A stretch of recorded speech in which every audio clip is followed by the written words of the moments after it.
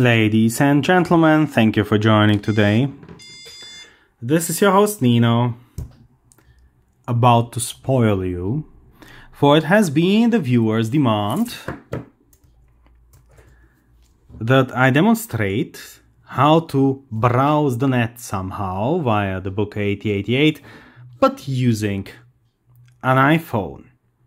Now that's a tricky demand insofar as the book 8088 version 2's main communication facility is a COM1 port that you can see behind here, as this is really a modern DOS computer with 640 kilobytes of RAM, an ancient processor, and so on and so forth, and it does have a serial communications port in its version 2. And the other device being the iPhone, the iPhone being the iPhone really, as always, is entirely inept to use serial devices. There seem to be some theoretical possibility if you register somewhere, etc., etc. You're just going to become a pensionist before you get online that way. And for all practical intents and purposes, an iPhone cannot work with something like this, which is a DB9 to serial port adapter if you want a little demo, here we go. I'm just gonna plug this in. Right, and anticlimactically, but expectably so, it's doing absolutely nothing. So unfortunately, that we cannot use. And therefore we need to somehow get from here to here, not via serial port. And that is where a little ESP32 board, let me disconnect it from behind, comes into play. So that is a little microcontroller, which the moment I turn over here the battery clip will be switched on. And this microcontroller can communicate via serial, but being an ESP32, it can also communicate via wireless. And what this board will really do is it will take all the serial signals from the book 8088 and turn them into wireless chatter with the iPhone. It is going to be trying to visit the iPhone at port 8088 and if there is some sort of listener there, which is going to present it with some form of environment or interaction facility, it is just going to be interacting with that facility and you will be seeing the results on your DOS machine's screen. So that is the book 8088 side of affairs. Let me just connect it again. So here you see things better, I hope. You just plug it in, that's it. That's all there is to it. The ESP32 board is connected to a max 232 voltage shifter for the serial port. So it's changing the TTL voltage, 3 to 5 volt on this board to the 9 or 12 volt or something which the serial port is expecting in order to not fry that board. But other than that, it's just a standard ESP32 board. As to the terminal environment we will be using here, we will be using something called Connex. I love Connex. I really tried to use Windows default terminal it was problem after problem after problem. It was hanging half the time, sometimes not noticing the serial port at all. I don't know what the issue was. I don't care. Connex works. So it's not a hardware issue, it's a software issue I do not care to venture into. I just need to go to its directory and Connex really looks like this. And if I press Alt-I, I can configure it. Configuration is just happening with the arrow keys and enter and escape. So if I wanted to change the port, I could do something, speed, I could press the arrows to decrease or increase the speed, enter in the end when I'm satisfied. All super easy. You exit it with F10 and you can change whether you want to hang up or just exit. That's going to be an important differentiation later on in the series. So here we are ready to talk, but whom are we going to be talking to? And here in the settings, you are having the opportunity to trigger a personal hotspot. Now I shall be doing that off camera because I don't want to present my password to the internet, but that is the settings that you will be needing. So you will be allowing others to join and you will be maximizing compatibility. And you may have to restart this a couple of times, as I'm just going to do now, before the iPhone is really delivering it to the ESP board. The connection to the iPhone seems to be extremely capricious, and sometimes I have had the necessity to restart the hotspot four or five times before the two would connect. But when they finally did, things continued from there pretty easy. Maybe I should also mention on the iPhone what environment we will be visiting. So there is this thing called the iSH shell. Yeah, this. This is really just a variant of emulated Alpine. You can see it here freshly started. But if I say uname A, then you see that it presents itself as an i686 Linux, that is Pentium 2 class. In other words, this is not a fragment of the general iOS environment that is presented to you the way Termux does things on Android, but this is really just an emulated Linux on which you really happen to be a root. so you're king of a or queen of an emulated world. And this apk add, which it is telling to you, you will need to apk add at least a couple of things. You need something called BusyBox. You need something called BusyBox dash extras. And finally, you will need a browser. Your options here really are links and Lynx. okay, so these are the things you need. I'll press enter. Nothing will happen as I have these already, but that is exactly the command that you would be executing. Once you have done so, Links is going to be deliver, uh, not Links, but BusyBox Extras is going to be delivering you a so-called Telnet server, which is a remote command line environment, which is going to be listening on port 8088 so that is the same port to which this ESP32 board will be connecting. And it will then be presenting, this is a little L for login program, a bash shell. There will be no login. It will be just you connect to the port, boom, shell. Okay? We do that. Now, that was the theory. It will be now more interesting to see things in practice. I'm now going to switch on our Wi-Fi to serial bridge, you see setup commencing.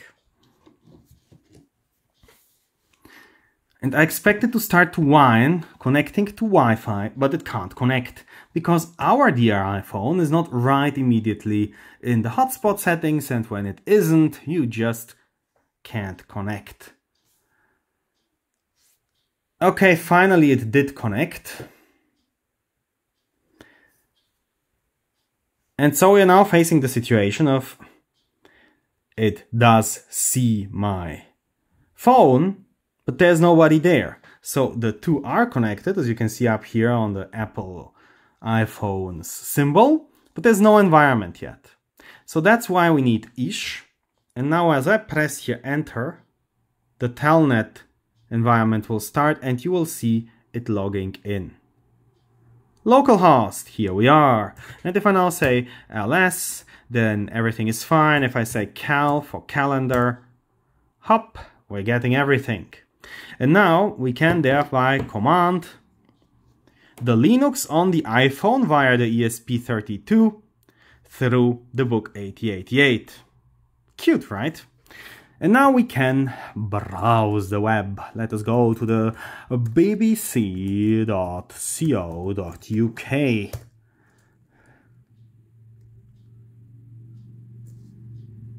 Ah, uh, yeah, that happens sometimes.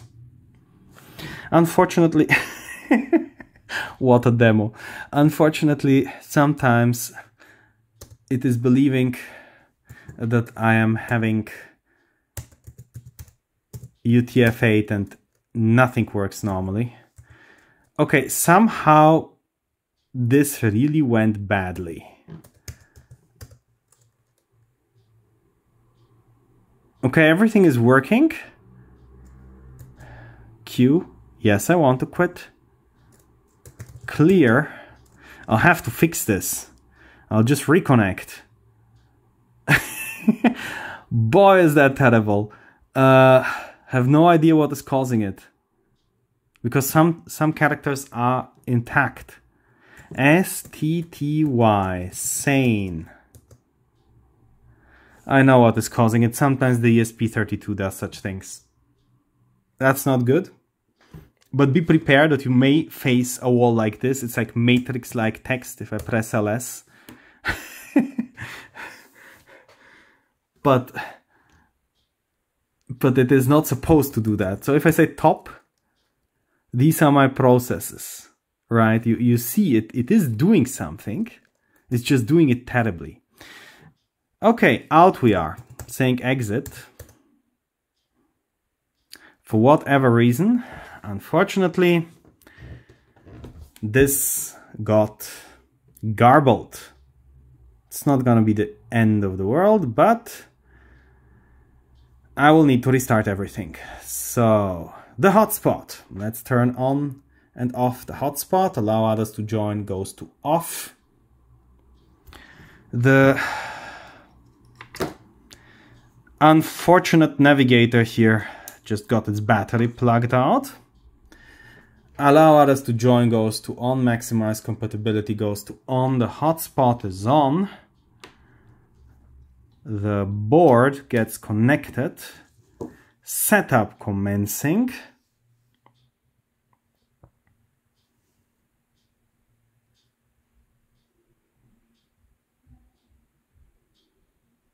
nothing. Okay, once again, off. F10 to get rid of Connex. Connex. Okay. ah, no crazy sausage this time. Very good.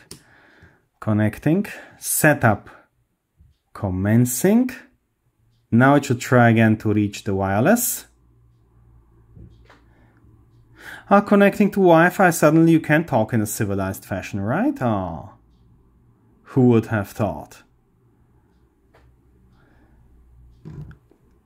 But I need apparently to restart the hotspot.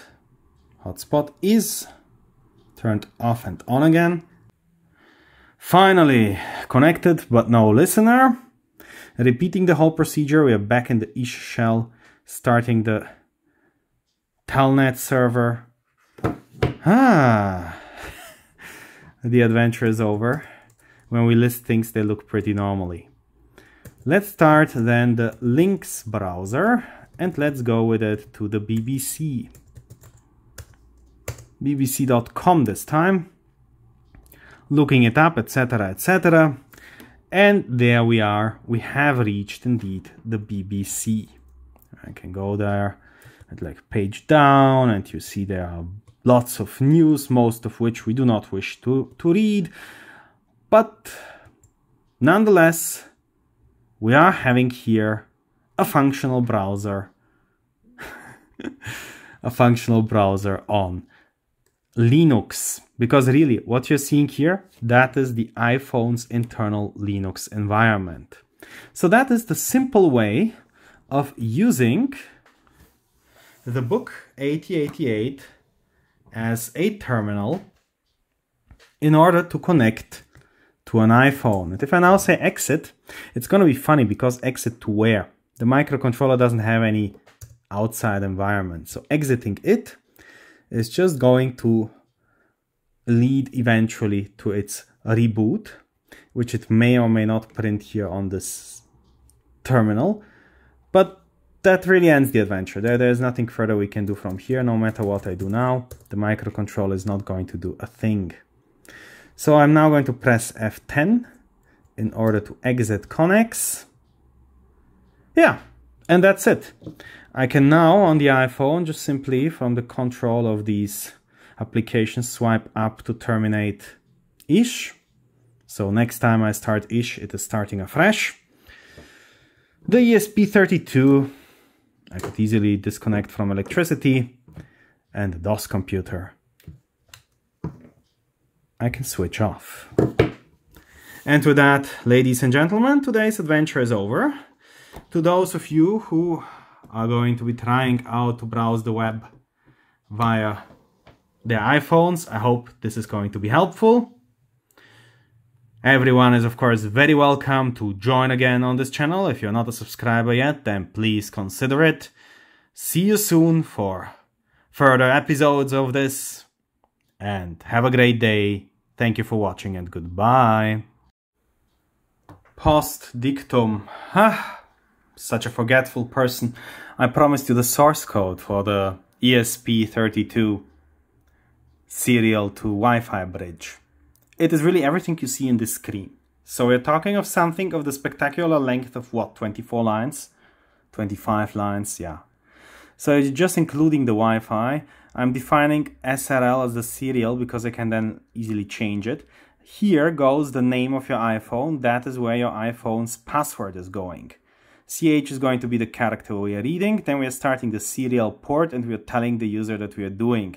Thereafter, we are connecting to the Wi-Fi and if that doesn't work out we're just retrying and retrying each second. Finally, when we are connected we are telling so and if we have not yet connected to the telnet environment we are saying that there is no listener and we keep trying each second on port 8088 of the iPhone. Once we are connected comes the really funny super simple part. If there is anything on the Wi-Fi we are reading it and printing it on the serial port. If there is anything on the serial port, we are reading it and printing it on the Wi-Fi. And that's all. We're just looping that infinitely in this for loop without any parameters. And the void loop part I left completely untreated. Finally down there, there's just some advice what you might be trying out in your telnet daemon like ECL, Lisp, Lynx, VI or Nano.